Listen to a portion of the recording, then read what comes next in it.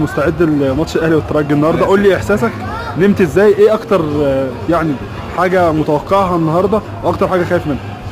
بص آه، يعني دايما الواحد كان بيبقى متوتر وخايف وعامل حسابات خصوصا ماتش final وكده. بس النهارده أنا عندي حالة مختلفة شوية لأني أنا بقالي كتير جدا ما حضرتش ماتش الأهلي لأن أنت عارف موضوع الجمهور وكده. بقالنا فترة مفيش جمهور. فانا بقالي كتير ما رحتش استاد للأهلي.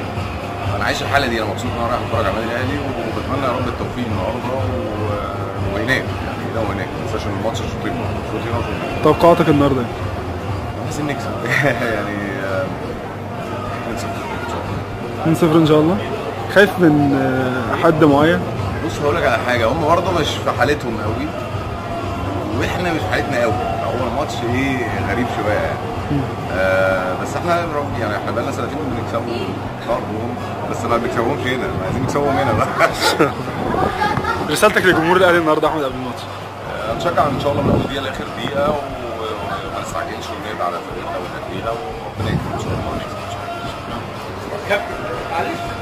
الله